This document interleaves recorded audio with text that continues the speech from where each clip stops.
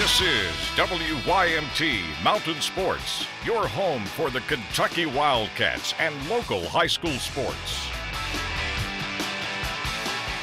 The end of an era at one school means a new adventure at another. Lynn Camp introduced former Barbourville head coach Dinky Phipps as their new boys basketball coach. Lauren Cash was at the school for the announcement. For more than three decades, Dinky Phipps walked the sidelines in the Barbourville blue and white. Coach Phipps retired from the Tigers at the end of the 2015 season. Now, he says he's ready for a new adventure with the Lynn Camp Wildcats. It means a lot. I've done it for 33 years, and uh, you know, I retired from Barbourville, and uh, this job came up when I applied for it. Uh, it was, I guess, a time for a change in my life to, to you know, either completely retire or uh, try to go somewhere else. Coach Phipps inherits a team with 18 wins combined over the last two seasons and has not been to the 13th region tournament since 2008 a tournament they are hosting next season. For us to have the opportunity to hire a Hall of Fame uh, coach, future coach like this is is um, a chance in a lifetime at a small school. He's still hungry after 33 years, and we're hungry to be more successful.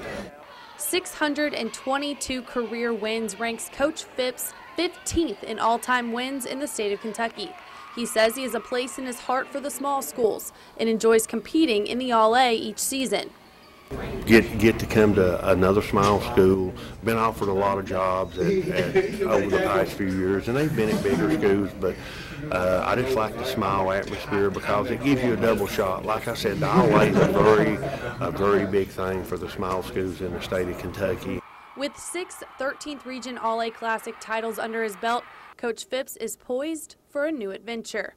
In Knox County, Lauren Cash, WYMT Mountain Sports.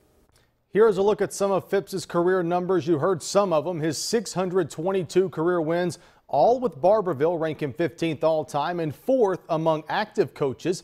He led the Tigers to six 13th Region All-A Classic championships, four district championships, and the 13th Region Championship game in 2006. Kentucky basketball signee Jamal Murray showing the world what he has to offer playing with Team Canada in the Pan American Games. In helping lead the Canadian team to the semifinals, Murray has averaged 15 points, three rebounds, and nearly two assists in three games, all while shooting 54% from the field. Murray and Team Canada are currently playing in the semifinals against the United States.